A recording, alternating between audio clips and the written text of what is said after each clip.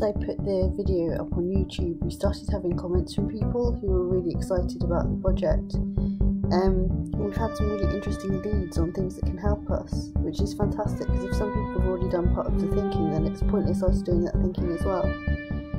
So we've had some great stuff sent through, some great support, um, and I'm really excited that we could actually potentially make something that other people could print themselves, you know, that could be recreatable by people if they have the same condition and the same problem. I think that would be really useful.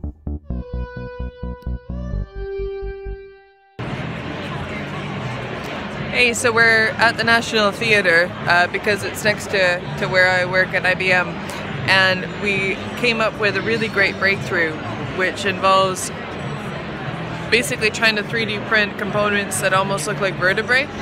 And it was inspired by a video that was sent to us on, on Twitter by a man named Ross that Emma can link to.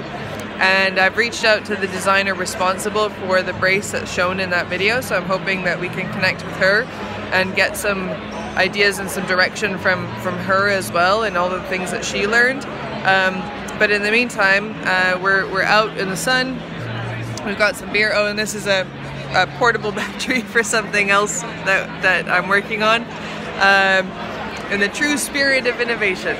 So uh, stay tuned. Hopefully we'll be able to actually do some printing this weekend based on this vertebrae concept. So we'll see how it pans out uh, once once Joe actually starts to do the CAD design because he's the he's the CAD design genius behind this whole crazy operation. I just wanted to share something my physio sent over actually. It's quite an interesting graphic.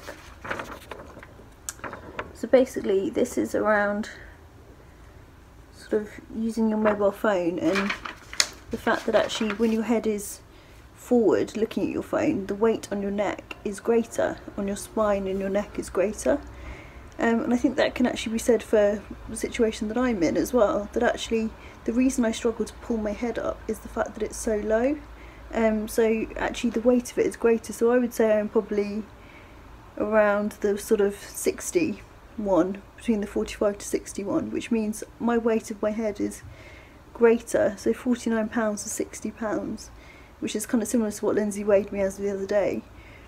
Actually if my head was straighter so if I was kind of in the straighter category it would be almost half the weight to pull it up. Um, so I feel like if we can get this bracing sorted, so my head is actually naturally a little higher, then the weight will be easier to pull up from and I can actually do exercises from it, if that makes sense. So actually the opportunity to get straight up is increased by my neck being put slightly up, if that makes sense. So I think anything we can do with this brace that gets my head past that point of just being too heavy to lift I can lift it with my hand but I can't lift it with my own neck. But if we could get it to almost like there, then I could pull back from it myself, I reckon. With a bit of practice. Don't know whether I'm talking bollocks, but I think this chart is kind of helping me to kind of see why it's so difficult to pull my head back sometimes because actually I feel stupid for not being able to do it because I think well you know it's your head you should be able to lift it but it just it's incredibly heavy and it's just more than my neck can actually handle. Hello. uh, here, I'll bring up just so Joe can see what we're talking about because I haven't shown Joe yet. This is what uh, I sent to Emma. Oh, I've not seen this one yet. Yeah. That looks quite similar to all of the ideas that we've been that discussing. we've been discussing. And I think I think the actual the stability of it looked really good, um, and sort of like the structure in the neck and stuff. And like I'm just gonna bring it up. Um, I thought the sort of the the structure that goes up the sort of the back of the neck looked really good and sturdy, and the bit that goes down onto the chest looked good. The bit that went under the arms looked a bit uncomfortable. Hmm. yeah, I was wondering about that, and actually the. Um, the one that uh, we bought that Joe has been wearing, you've actually found it really comfortable, but I've um, I've not been able to wear it, but I think it's because I every time I've tried to wear it, I've been wearing it with a vest top, and it chafes under the arms. Yeah. But Joe always wears it with a t-shirt, and you've had a problem. Yeah. Yeah, because the thing that I liked about it at the at the back was how it looks almost like a headrest. Yeah. Like the is so wide and so curved.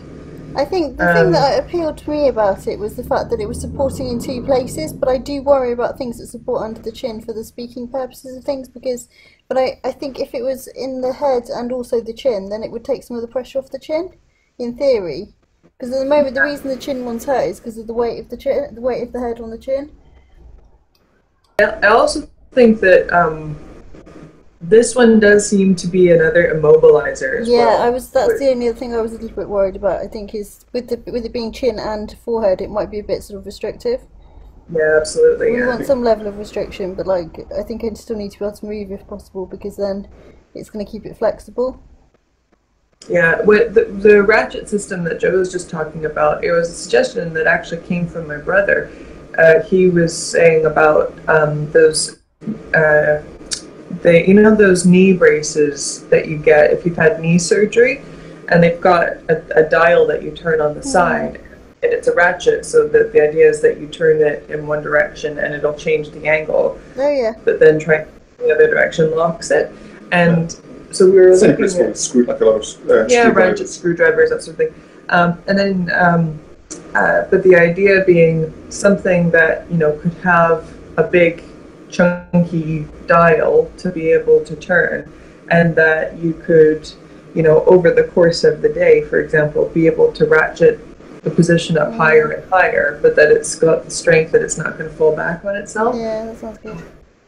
Yeah, that's that's what we and so we started looking at different ratchet designs. There are a lot of um, 3D printable ones as well, like three Okay. uh, rack systems that people have made um, CAD designs for. That's cool.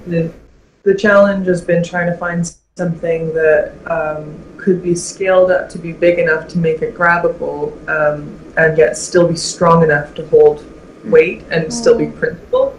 So we've, we've done some looking now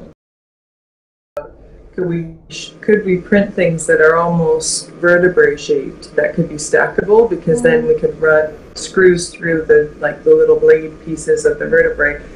And the screws could be set screws that if you want a lot of rigidity then you know then all the screws are in.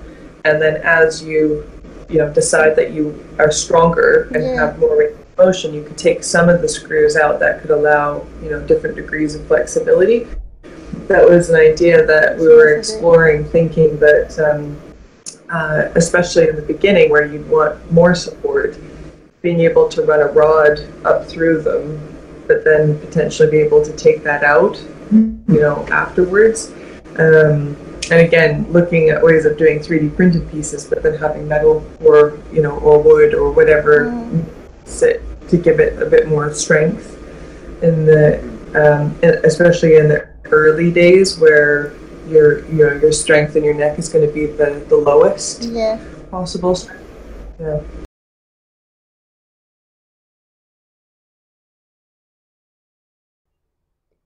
having my neck this way for probably almost six months in this position, over a year now, getting this way. I'm actually getting used to it, and that's really worrying. Um, it's my natural position, it's comfortable, it doesn't hurt at all. It's not good for social things. My social life has taken a real tip and my confidence has taken a tip because I don't feel like I look like myself, which is very difficult for things. You know, I'm a single girl and I'm dating, and I feel like the photos that I have up on my profile aren't really an accurate portrayal of who I am because they're me before, and I know I'll get back to that, but actually, that's not how I look now. I feel like I'm being deceptive and things that were easy before are definitely harder now in general in life. And i can't help but think my parkinson's is going to be so much easier when i can get this sorted. Because parkinson's is hard enough but having a prolapse disc in your neck is just a whole nother heap of fun on top. But it is worrying me that it's become the comfortable position and actually if I raise it up with my hand it doesn't hurt but it's that's the position it should be in. It should be comfortable there. It shouldn't be comfortable like this. And I think my physio is concerned that actually he's surprised that my neck has held this long in this position. And that worries me. You know what what should it be doing then? If it's not holding should it snap? Should it break? Should it twist? Should it weaken more? So I'm concerned about what will happen if I can't brace it. But I definitely find when I'm walking around the house at the moment and it's unbraced, it feels loose. So I think getting the right brace that I can wear at the right times will really help lift it. But I'm just worried I'm putting too much pressure on this project. And really, my consultants should be doing this but I, I don't have a neck consultant. I was basically sent down the Parkinson's route because I have Parkinson's. I was sent to my Parkinson's consultant who sent me internally to someone who didn't really even bother looking at it. And I got chucked out of the system again back into the Parkinson's route.